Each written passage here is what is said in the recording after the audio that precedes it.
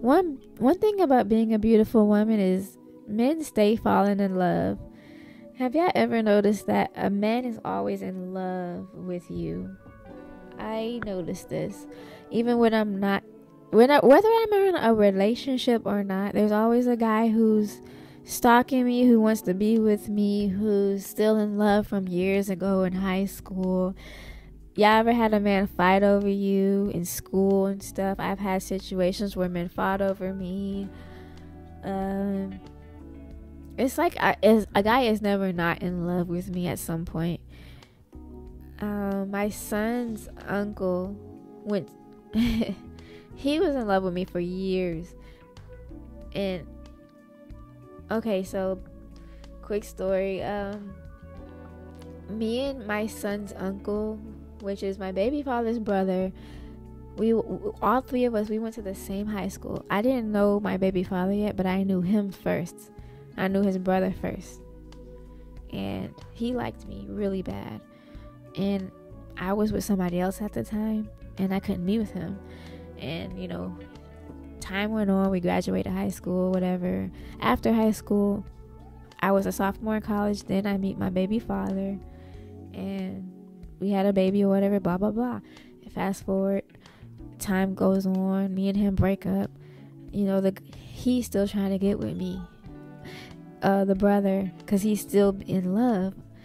I had another guy and I'm trying it's he's it's been 10 years and he's still trying to get with me, but I'm always in a relationship. You know what I mean? So we could never, I could never give him a chance or whatever. And it was never meant to happen because I ended up having a baby with his brother. So, and then there was another guy like that. He would always stalk me on Facebook. I have, I have a lot of Facebook crushes, guys that stay in my story, that's been in my story for years, still trying to talk and get with me and sending me hey beautiful texts every now and then. Like this guy named I don't want to put his name out there, but he's been trying to get with me forever. I'm trying to tell you, it's so many dudes like this. I don't know if you guys go through this. Somebody's always in love, and I'm always afraid of hurting somebody. Even the guy that I'm with, I can't get away from him. We're off and on, but when we're off, we're not really off because he won't go away. I'm in one of those situations where it's complicated to just get out of the relationship because we have dogs. He's attached to my son, even though they're not blood related. But he's so attached to him and he's so in love with me. Oh man, it's it's hard to hurt people when they're in love. But I'm always in a relationship, so a guy always likes me. There's guys that like me at my job. And there's a whole bunch of issues with that. So being pretty is just guys are gonna always be in love with you. It's part of it. Have you ever had a guy just randomly kiss you out the blue? This has happened to me like at least five times, five different guys, and it would be out the blue. I wouldn't even know they liked me or anything, and they would just kiss me out the blue. Y'all ever had that happen to y'all? It's like people who don't have pretty privilege want the male gaze like this so bad. But being on the extreme side of the male gaze is like, give me a break. I need a break. I've been in a relationship since I was like in high school, and I'm in my 30s now. I haven't been single. I don't know what it's like to be single, single, and that's my fault. I should have just stayed single, but I I was a pick me. I'm a recovering pick me. I swear I am because I was a pick me because I had mommy issues and I was always looking for validation and love and all of that stuff. So I always stayed in relationships looking for that love that I was my mom was supposed to give me, but she didn't. So that's kind of why I was a pick me, but I'm learning how to decenter a minute and I'm actually happier. I always thought relationships would make me happier because I fantasize relationships because of Disney movies and stuff. I'm a I'm a millennial. I grew up on Pocahontas. I grew up on Aladdin. I grew up y'all know Aladdin. That was my favorite movie. And that movie taught me that you know Dusties it's okay to be in love with a Dusty. That's literally what Aladdin taught me. I mean, I, I so And when I think about my choices, they've mostly been dusty. And then I had an attraction for the wrong type of guys. Um, the hood aesthetic. And then I changed and I wanted something different. So I got out like the nerdy guys, but those nerdy guys are just as bad as you know what I'm saying? So my type I never really had a type. I just knew I liked black dudes. Um, but I I've dated. I tried to date a white guy. He was a stalker. I couldn't date him anymore. He was stalking the shit out of me. It was getting scary. He was following me to my house. Like I literally was running away from him at work because he wouldn't stop following me. This old man at my current job was stalking the shit out of me. I had to almost tell him to stop. I literally had to tell him to stop. It was getting that bad. Like the stalker thing is no joke when it comes to being pretty you gotta be careful out here. Like I need to buy some mace for real. I be outside walking my dog at night sometimes. I be got I, you really gotta be careful.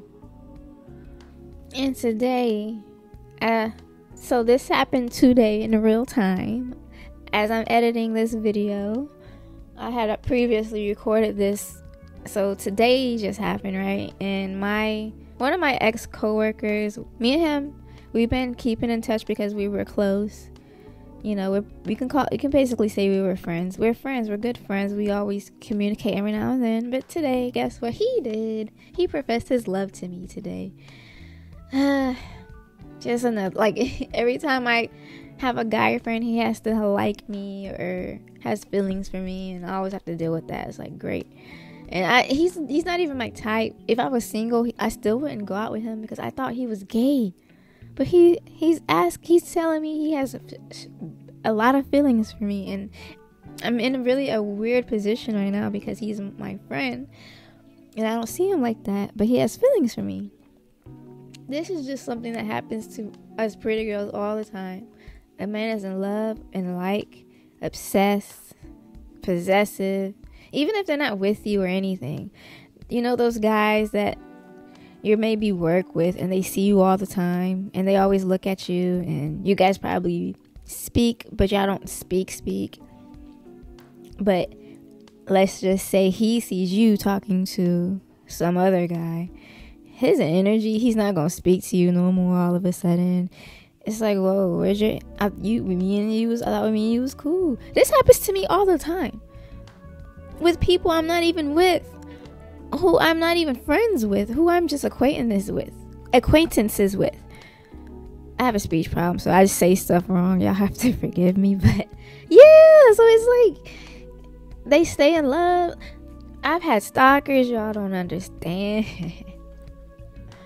so, but I'm not gonna I'm not gonna dim my light, but you know, the consequence of not dimming your light is you're literally like honey to bees you just it is what it is.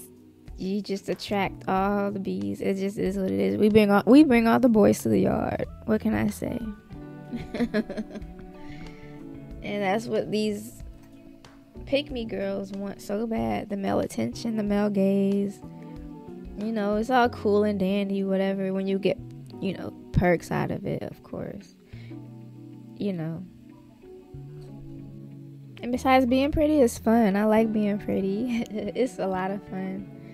I like to play with my looks and stuff, take pictures. I, I take a million pictures a day and don't post them. It's just be on my phone. Cause I be taking a million pictures just because I like, I don't know, I just, I like to play around like that. Just take pictures randomly of myself. Just anywhere randomly. Like, cause I like the way I look. but yeah, um, this is a quick video. Let me know what you guys think. Do y'all have the same issues? Do men stay falling in love? Do men fight over you? Have men ever fought over you? Ever? I've had multiple situations where guys fight over me. And I couldn't be with either one of them, which is the craziest part because I was always taken. It was always somebody, a crush or anything. Even before middle school, before I hit puberty, I remember boys. But yeah, Let me know what y'all think, and I'll see you guys later.